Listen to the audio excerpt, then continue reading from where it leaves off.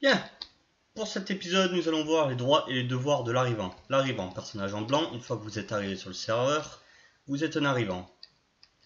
Oui, pensez à mettre le texture pack. Je vais vous informer comment mettre un texture pack, je ne vais pas faire un épisode tous pour ça, mais je vais quand même vous montrer. Vous allez dans Options, Pack de ressources, et vous foutez texture épique à droite, en appuyant sur la petite flèche qui sera là.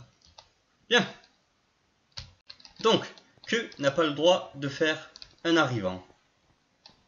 Il n'a par exemple pas le droit de free kill sans aucune raison valable une autre personne, quelle qu'elle soit.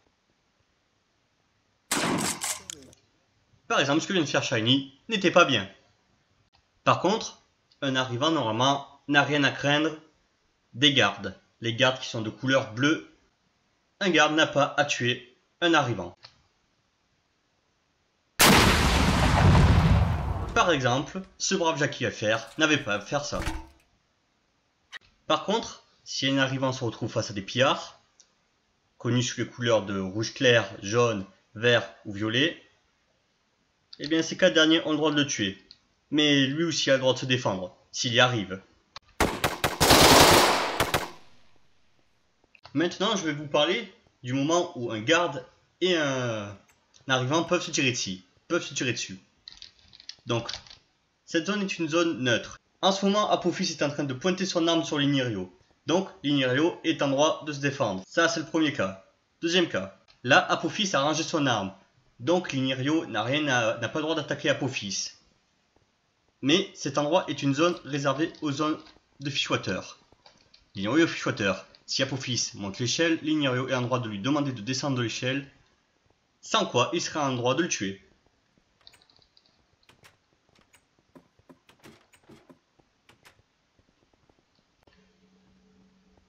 Descends de là où je te descends. Comme vous pouvez voir dans le chat, Apophis vient de dire non. Dans ce cas, pour une fois, Lignerio a bien fait, il a eu le droit de le descendre. Autre situation. Apophis vient de rentrer donc dans la zone réservée aux fishwater. Et dans ce cas, dans une zone PVP en quelque sorte. Il est donc tout à fait en droit d'éliminer Lignerio pour ensuite aller braquer la banque.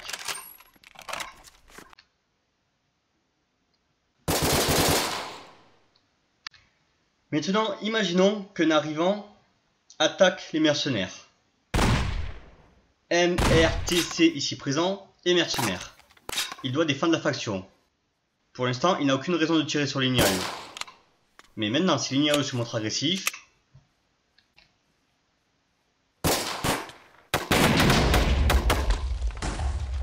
ce dernier est parfaitement en droit de l'éliminer.